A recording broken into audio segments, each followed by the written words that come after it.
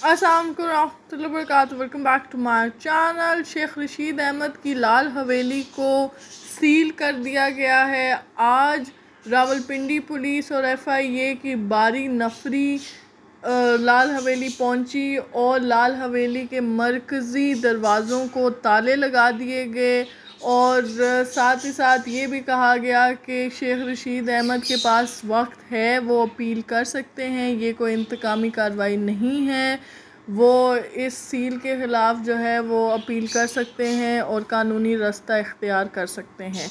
तो आज के लिए इतना ही खबरों के लिए लाइक करें सब्सक्राइब करें। लाफ्ज़ नासर।